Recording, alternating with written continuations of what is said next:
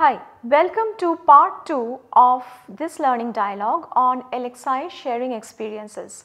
In this part 2 learning dialogue, I am going to share my experiences as a MOOC instructor on designing of LXI focus questions.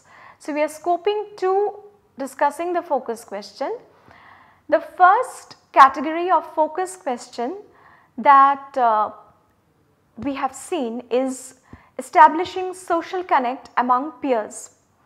So, in a MOOC setting the learners do not know each other and let us see the examples on screen. So, you can give a focus question for social connect like introduce yourself and then do not stop there.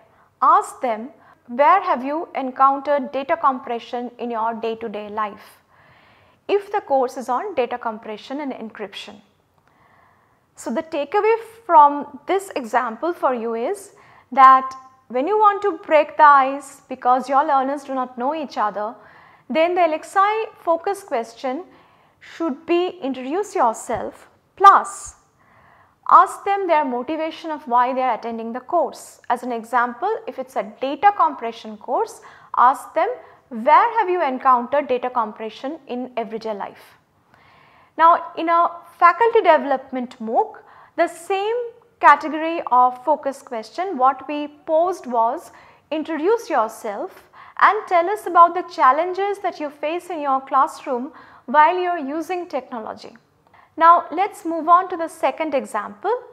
Keep one thing in mind these examples and the categories of LXI focus questions that I am showing you are not in any hierarchical manner. The second category of focus question that you can post is once you have taught the concept, ask the learners to apply the concept taught in real life. So, what would an example of this type of focus question look like? Let us see the example from a data structures course we can tell can you give an example where radix sort is used in real life.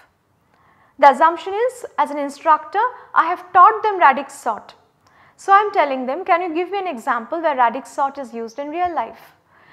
The B part is look at your peers posts and comment on the validity of the example that they have posted. If it is an FDP course for teacher training, the type of question we gave for this second category of objective is what challenges do you expect in applying active learning in your class?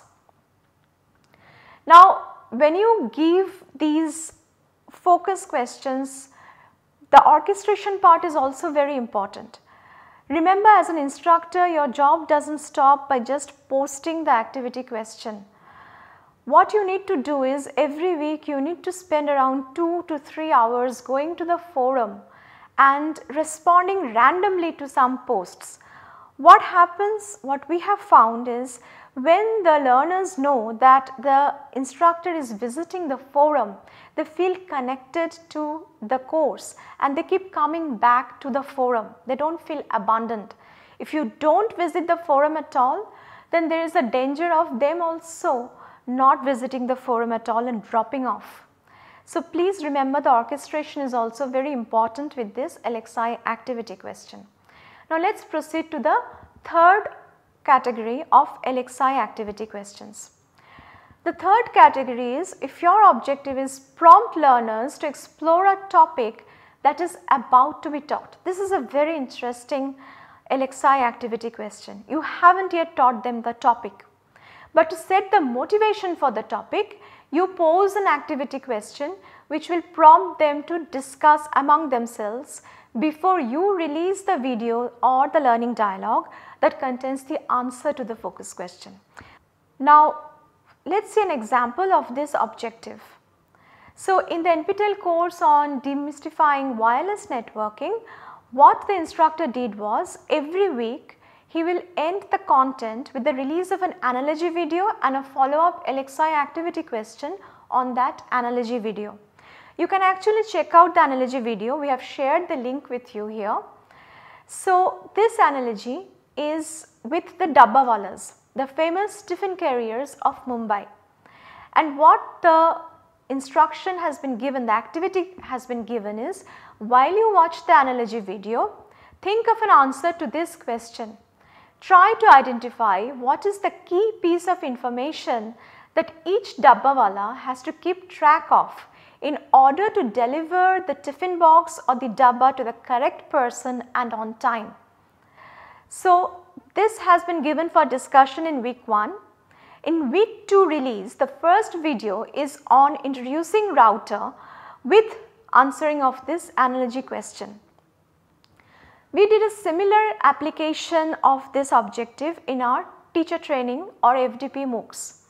What we asked them is, we have given you an example of an animation and a simulation. Now as teachers, tell us what are the advantages and the disadvantages for each of these as a teaching resource.